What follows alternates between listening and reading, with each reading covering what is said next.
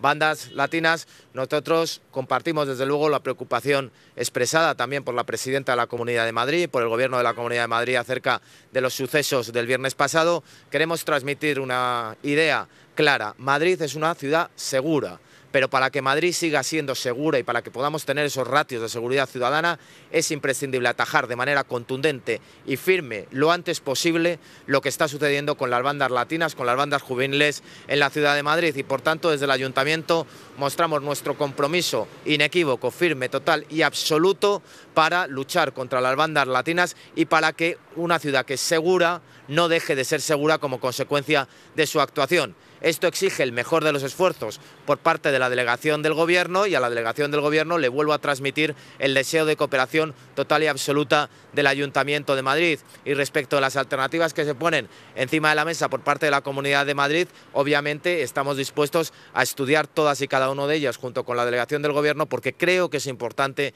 que el primer mensaje que tenemos que transmitir a la ciudadanía es que las tres administraciones estamos embarcadas conjuntamente en este desafío contra las bandas latinas y por tanto que las tres administraciones vamos a trabajar codo con codo con una delegación del gobierno, que es quien tiene las competencias para que puedan ser erradicadas lo antes posible.